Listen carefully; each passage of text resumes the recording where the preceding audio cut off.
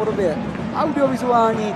Gol na 1-0, kapitán Zubru Jiří Krysl, který naznačil přihrávku a pak to šalamounsky backendem překvapil eh, Patrika Švančaru. Zubři vedli 1-0. Na 2-0 šikovnou tečí zvýšil Roman Vaňo, který mezi kruží výborně tečoval. Fritku se povedlo snížit ve druhé třetině touhle skvělou střelou eh, od Michala Ramíka, který to trefil parádně a překonal eh, Vojtěcha Mokrého. V závěru, když se Frídek nadechoval eh, k nějakému náporu, tak došlo k této situaci 2 na 1, kterou skvěle vyřešila dvojice Jáchym a zakončující Matouš Kratochvíl 3-1. No a na 4-1 tak to Martin Pěnčík od Modré čáry, skvělá práce ve před Patrikem